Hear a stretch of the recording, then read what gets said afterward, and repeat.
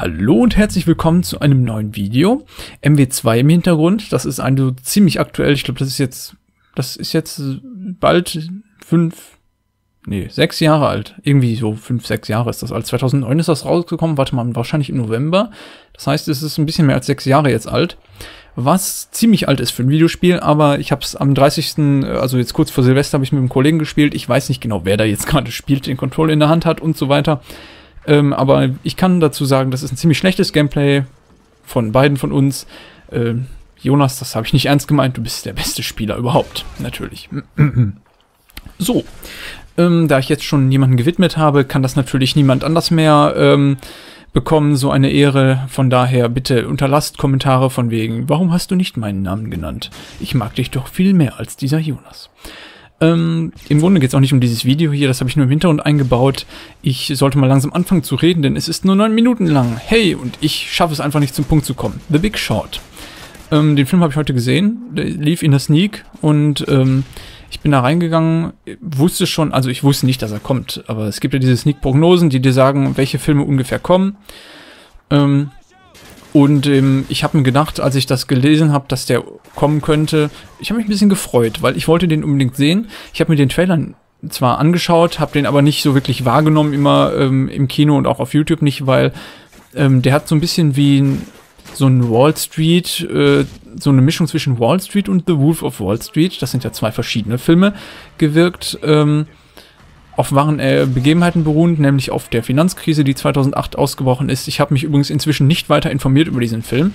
Deswegen kann ich euch jetzt nicht mit Daten und Fakten versorgen. Ich weiß nur, dass Brad Pitt mitspielt, ähm, Christian Bale spielt mit und dann noch so ein bekannter Typ, der in Gangster Squad dabei war. Ich weiß leider nicht mehr, wie der heißt. Aber es geht ja auch nicht darum, euch die Darsteller oder den Regisseur oder die Story in Einzelheiten zu erklären. Ich wollte einfach nur mal ein bisschen sagen, was ich davon halte. Ich habe den ja gesehen und ich muss sagen, der hat mir zuallererst mal gut gefallen. Ähm, das ist so ein Film, der ist so in der Machart, ähm, wie ich schon sagte, eher Richtung Wolf of Wall Street als Wall Street, weil er hat äh, ein paar lustige Stellen, er ist aber meistens tatsächlich einfach nur auf Zahlen beruhend. Ähm, wenn ihr diesen Film ähm, sehen möchtet, dann müssen, möchte ich euch von vornherein sagen, dass es da im Grunde fast die ganze Zeit um Zahlen geht und um Wissenschaft und um Bankengeschäfte das Lustige ist, der Film versucht die ganze Zeit zu erklären, was passiert. Also da werden tatsächlich die Hintergründe von ähm, der Bankenkrise da, von der Finanzkrise ähm, erklärt, dass das alles äh, auf einem nicht maroden, doch ich könnte sagen maroden ähm, Immobiliengeschäft in den USA beruhte. Ähm, ich habe es selber immer noch nicht komplett verstanden, deswegen unterlasse ich einfach jegliche Versuche zur Erklärung. Mm, ich werde mir da wahrscheinlich noch unendlich Trivia durchlesen müssen zu dem Film und mir den dann wahrscheinlich nochmal angucken.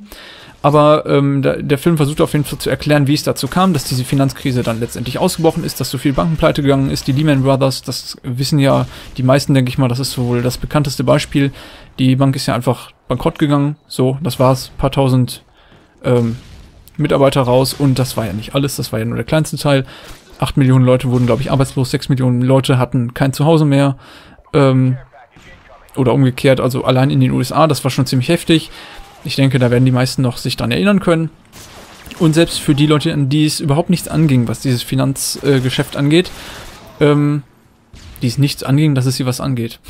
ähm, ich denke, ihr wisst, äh, worüber ich reden möchte. Äh, ich finde, sogar für die Leute ist dieser Film was. Zuallererst das heißt, zuallererst an dieser Stelle sei euch gesagt, guckt euch den Film nicht an, wenn ihr überhaupt nichts mit Zahlen anfangen könnt und Fakten. Wenn ihr sowas erwartet wie Wolf of Wall Street, der ja wirklich ein bisschen mehr auf Humor gemacht war, der ein bisschen, ähm, der dieses Leben von dem, ähm, wie hieß der nochmal, Jordan Belfort erzählt hat, ähm, der von Leonardo DiCaprio gespielt wurde, das war alles ein bisschen auf lustig gemacht, das hat eigentlich auch nur die Lebensgeschichte von ihm erzählt und ähm, ja, da ging es halt mehr um Drogenkonsum, um, um den Spaß, den der Typ in seinem Leben gehabt hat. Das ist in The Big äh, Short nicht so. Da wird tatsächlich von Anfang an erklärt, wie es zu dieser Krise kam, welche Banker welche Fe Fehler gemacht haben, welche Banken welche Fehler gemacht haben und äh, letztendlich ähm, wird es, glaube ich, sogar, denke ich, ganz, ganz okay erklärt. Das Dumme ist nur, es ist immer noch nicht einfach genug.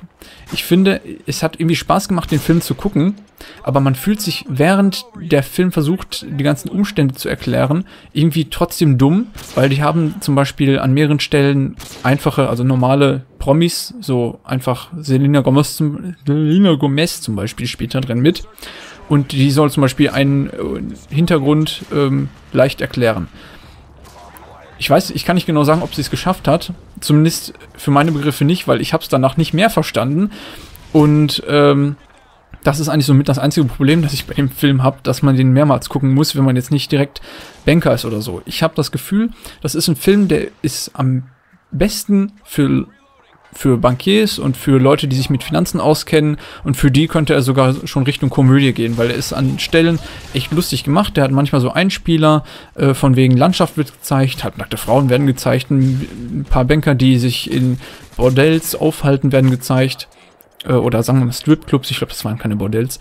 Und an solchen Stellen ist der Film äh, amüsant, also wirklich unterhaltend, aber dann geht es auch direkt wieder weiter mit der Erklärung, ähm, wie es um diese ähm, Banken und die, um diese Finanz, eigentlich eher Immobilienkrise steht, weil hier in dem Film geht es hauptsächlich um diese Immobiliengeschichte. Und im Hintergrund äh, Steve Carell spielt übrigens auch mit, ist mir gerade noch eingefallen. Die spielen alle unterschiedliche Charaktere, unterschiedliche Bankiers, die bei unterschiedlichen Banken oder äh, beziehungsweise Finanzunternehmen arbeiten und äh, jeweils ihren eigenen Profit aus diesem ganzen Schlamassel zogen, weil sie mit die einzigen waren, die dieses, ähm, ja, die dieses Chaos schon Jahre oder ein, zwei Jahre zuvor haben kommen sehen. Ähm, ich finde das ganz interessant, weil äh, wenn man sich, ich denke mal, wenn man sich die Hintergründe ein bisschen dazu äh, vorher am besten durchliest, ich würde sagen, dass es sogar sehr empfehlenswert ist, sich vorher die äh, Geschichte und die Zusammenhänge durchzulesen, damit man während des Films mehr versteht. Und wenn man das dann tut, dann ist der ganz amüsant, finde ich sogar. Weil ähm, es sind Fakten eingebracht, die äh, stimmen. Da würde ich jetzt mal von ausgehen, dass die stimmen. Das wirkt nicht so, als wäre das so eine Komödie, wo viel äh, ausgedacht wurde, damit es auf lustig gemacht wird. Ähm, ich kann nicht genau sagen, ob diese Bankiers, ob diese Finanzexperten alle genauso agiert haben. Ähm, das sind wohl auch, glaube ich, alles echte Personen. Zumindest wird am Ende noch ein bisschen deren Geschichte erzählt. Ähm, ich kann nicht genau sagen, ob die wirklich so agiert haben, aber es wirkt schon alles ähm, sehr plausibel. Obwohl ich es kaum verstanden habe. Und das ist das Interessante daran. Irgendwie, obwohl ich fast nichts verstanden habe von der äh, ganzen Finanzsituation, das ist, finde ich, wirklich kompliziert. Ich habe im Kinosaal nur die ganze Zeit Leute Fragen gehört, nach dem Zusammenhang, was da jetzt passiert ist und so. Und dann hat es irgendwer anders versucht zu erklären, der es selber nicht verstanden hat. Das war das Beste. Und am Ende wusste wahrscheinlich kaum einer im Kinosaal wirklich, was da abgegangen ist. Aber auf irgendeine Weise hat der unterhalten, der Film.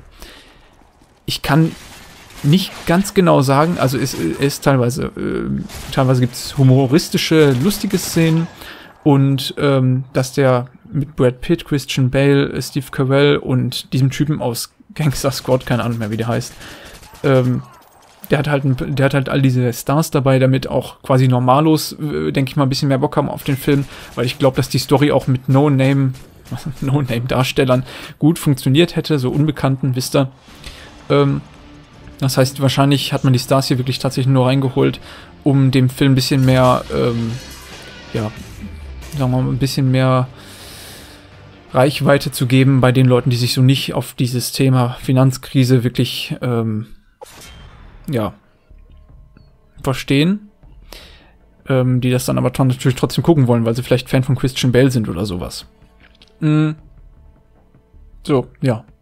Ich glaube, das ist, wenn man den mehrmals guckt und sich zwischendurch die Hintergründe, das Video ist jetzt zwar schon vorbei, aber ich schneide einfach irgendwas anderes dran, keine Ahnung. Es war ja klar, dass ich das nicht äh, schaffe in 10 Minuten. Ähm, ich glaube, wenn man sich den Film einmal anguckt und vorher nichts über diese ganze äh, Finanzsache weiß, die 2007, 2008 passiert ist, der Film spielt in diesen zwei Jahren, in diesem Zeitrahmen, dann ähm, könnte man den durchaus schlecht finden, wenn man ähm, gar nichts versteht. Ich habe ein bisschen in dem Film verstanden, weil ich habe mich bemüht aufzupassen. Es war schon relativ spät, ich war ein bisschen müde, aber ich habe mich trotzdem konzentriert an den Stellen, wo erklärt wurde und äh, denke, ich habe es einigermaßen okay verstanden. Ich versuche es jetzt nur nicht zu erklären, weil dann geht es eh schief. Ich werde mir wahrscheinlich dazu nochmal was durchlesen, die Hintergründe und mit den Film dann nochmal anschauen, denn ich finde, es ist sogar anschauenswert. Die Darsteller machen nämlich, nämlich alle eine richtig gute Figur.